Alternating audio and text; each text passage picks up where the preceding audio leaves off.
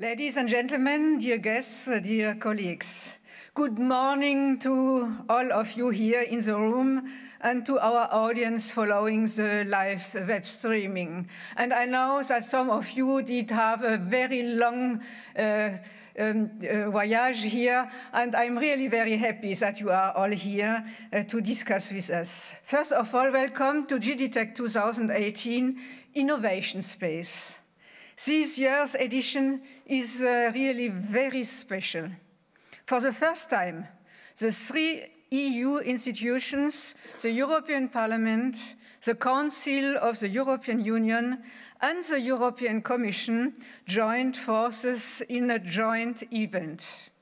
As Vice President of the European Parliament in charge of information technologies, I am very glad to be part in this initiative because it exemplifies in a nutshell what we are promoting and implementing at the European Parliament. An inclusive, forward-looking, mission-oriented kind of innovation. And it is a real pleasure for me to open this event in such a good company. The Commissioner for Digital Economy and Society, Mariya Gabriel, who is coming, I think, and the State Secretary of the Austrian Federal Ministry of the Interior, Karoline Edtstadler. I hope she will be soon here. Ah, now you are here. Uh, I'm very happy that you are here. Welcome here in, uh, in this uh, room. Beyond our different institutional roles, ultimately the European institutions have a common purpose that speaks higher than anything else serving the EU citizens and creating a better Europe for all. To achieve this purpose, IT has become a central element. It is an enabler and a driver. It is an asset, but also a challenge and even a hazard. All these dimensions need to be taken into account. That is what our respective IT departments are doing day in and day out. This daily work includes all the aspects of ICT in our organizations. Development and maintenance of applications, networks, IT infrastructures, and other technicalities that are part of your jobs, which allows members commissioners, member states representatives, and administration staff to perform their work efficiently. But today, we have the opportunity to exchange and reflect, to get together and try to think outside the box and come up with different solutions for innovative and useful projects. Today, we will also celebrate joint initiatives between our institutions and we will look for new synergies to continue improving the way we work. We will get a fresh look at things thanks to our inspiring speakers coming from the public and private sectors as well as the academic world. This event is built with your valuable help through the inputs you shared with us, and so the discussions today will focus on the topics you choose.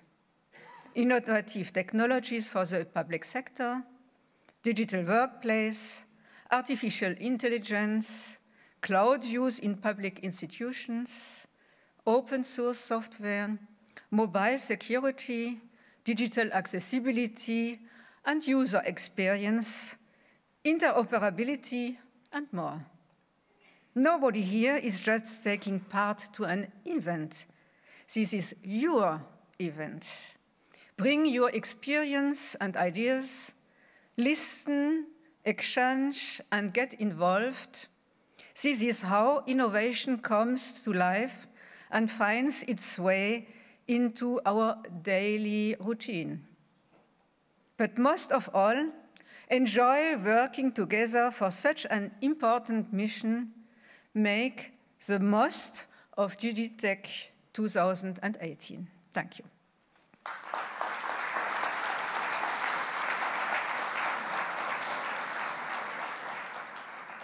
Thank you very much for those uh, inspiring words. Let me now invite another of our keynote speakers up to give her words of welcome, Karoline Edtstadler, who is the State Secretary of the Austrian Federal Ministry of the Interior.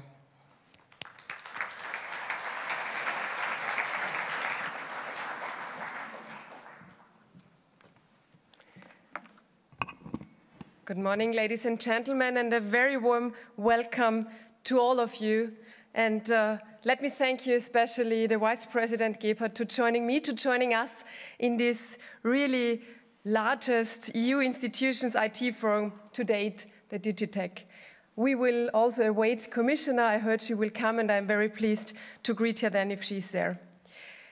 Well, not long ago, digital technology was regarded as a threat to jobs and content instead of an opportunity to growth, prosperity, and diversity. Digitalization offers a wide range of new possibilities, and we need to join forces to play a top role amongst the global innovation leaders. Austria currently holds the presidency of the Council of the European Union.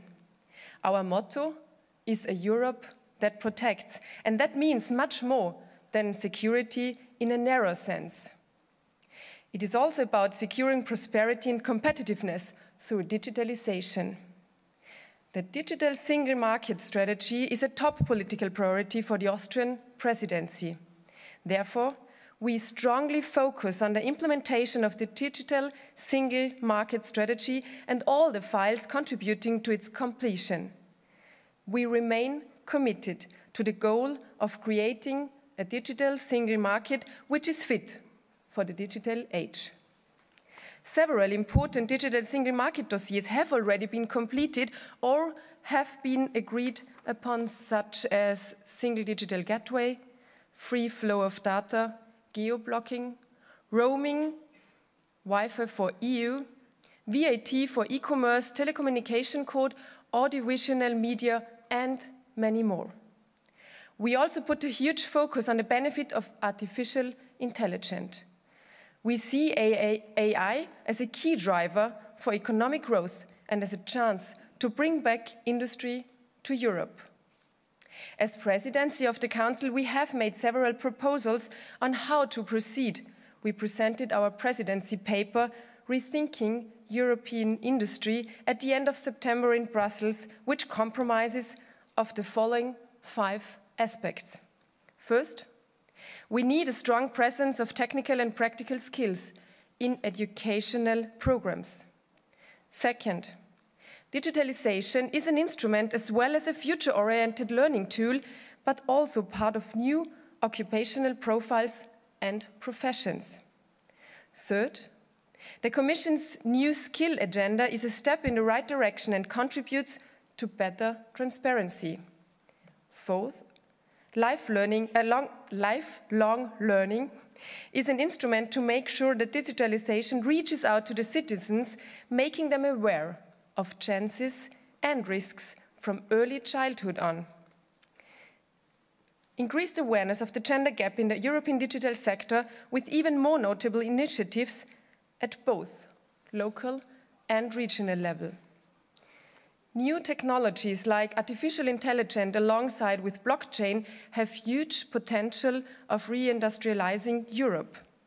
Therefore, we will set important impulses in close cooperation with all relevant stakeholders. We are committed to create legal certainty for the application of IA technology in order to enable innovative new business models and application in the context of social development. Building a digital world affects all levels of society. Hence, our citizens expect a public service to, be, to become more digital, open, transparent, accessible, and to safeguard their personal data. Therefore, we took stock of the implementation of the Tallinn Ministerial Declaration on E-commerce at the high-level conference on digital and e-commerce in September the 26, 2018 in Vienna. We did a stock taking of the six policy lines of the declaration. Additionally, as the European Union did a big step forward as regards cross-border mutual recognition of electronic identification, means the last part of the conference focused on the practical implementation of the eIDAS regulation and the challenges ahead to ensure that all Europeans will soon be able to use secure and convenient online identification means across border. So now that's the time where I would like to welcome the Commissioner also. Commissioner, it's a great pleasure for us to have you here at this very, very important conference. Thank you for coming. Digitalization, mainly due to the spread of mobile devices, boosts participation by all. This with this in mind, we should focus on a transition from electronic to mobile government. The benefits of mobile government are wide-ranging. It allows to work anywhere and anytime, which is helping to create a truly integrated digital ecosystem for the government mobile government also reduces the barriers to public services operations, encouraging citizens or service providers to make use of the technology where previously barriers were discouragingly high. We are convinced that it will not be e-government e changing the mobile world, but the mobile world changing e-government. Europe can only be successful if we join forces and work closely together.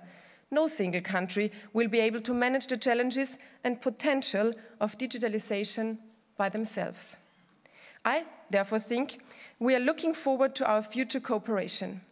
I believe that together we can achieve a fully digital Europe and become digital innovation leaders. I wish you fruitful discussions and the conference as much success as possible. Thank you.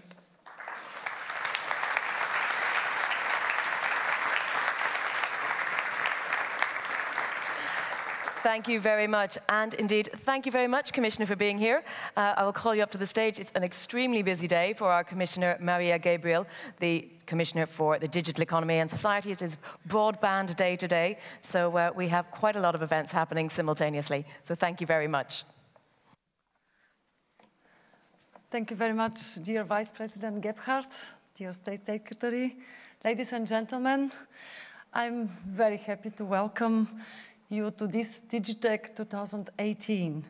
DIGITEC, we all know, it's a forum to look at the state of digital technology in the European institutions and to discuss the challenges that the digital future brings to public administrations everywhere. This conference is an excellent example of co-creation between the IT departments of the Commission, the Parliament, and the Council. Our institutions face the same challenges, and by working together, we can achieve better results. This is my message to citizens, to businesses, and to member states, and it is also my message to you. Today's conference is designed to contribute to three objectives drive the digital transformation within our organizations to make them more efficient and inspiring workplaces. Set an example for public administrations everywhere when it comes to a digital-ready mindset. And finally, deliver policy in a better, more transparent way. But how can we achieve these objectives? Ladies and gentlemen, we all live in the era of mobile, connected, and flexible workers. The working environment must adapt to them, not vice versa. In the Commission, we are taking steps to create more agile, collaborative, and engaging ways of working. The goal is to have our workplace move with us so that we can work and collaborate anywhere. The success of the digital workplace depends on new behaviors and a change of mindset in the institution as a whole.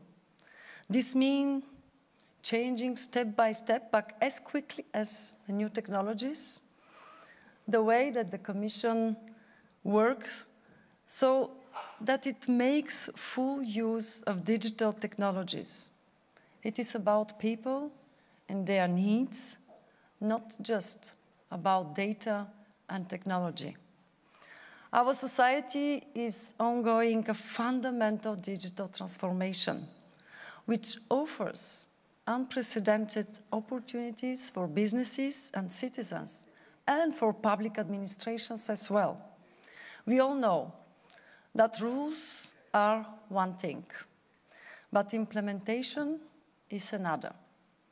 Bringing public administrations into the 21st century does not just mean a better environment for our colleagues. It means better delivery of public services to all of us in our digital society and economy.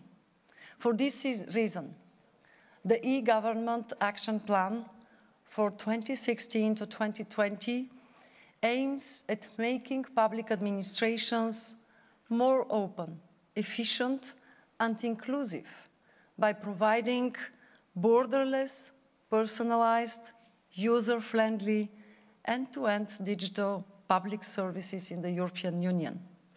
For many years, we have been working together on facilitating the deployment of services across borders through the Interoperability Solutions for Public Administrations program and the Connecting Europe Facility initiative, the European Commission promotes standards for interoperability and basic capabilities for reuse in any project to ensure a coherent deployment of services across borders. These principles need to be part of all our policies and interaction with the countries, businesses, and citizens. But what about policy? And this is the Commission's main responsibility. Let me outline three areas. First, data and artificial intelligence. In the ongoing digital transformation, the way we use data and artificial intelligence will be key. This is true for public administrations in just the same ways as it applies to businesses. Better policy making requires better information. For example, about the functioning of the economy and of existing policies, or about citizens' opinions and preferences. Therefore, data is at the core of the Commission's digital strategy. Artificial intelligence, in turn, is a novel, cheaper, and more automated approach to turning data into information and knowledge and to derive the best decisions. In the Commission, artificial intelligence solutions already today support our dialogue with citizens, help automate translations, and actively hunt cyber threats. In the recent summertime public consultation, for example, the European Commission received more than four and a half million contributions from citizens. No human can make sense of this amount of raw data. Yet every feedback is valuable and needs to be taken into account. The answer, yes, the responses were automatically processed and pre-analyzed until the information was rich enough for our colleagues to take over. Second, the security dimension. At the Commission, we continue to improve our infrastructure to make it more resilient against cyber attacks. As a result, today, it is ourselves, the human users of IT solutions, who are the weakest link. At least 80% of the incidents we see could have been avoided if colleagues have been more careful with their clicks on links or attachments. For this reason, we also invest a lot in relentlessly raising awareness of the importance of cybersecurity and concrete steps that can be taken by everybody.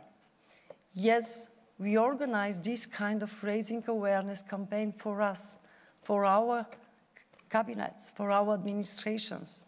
And believe me, it was very useful for all of us. So you know it very well, but it's always useful to remind that don't click before you think.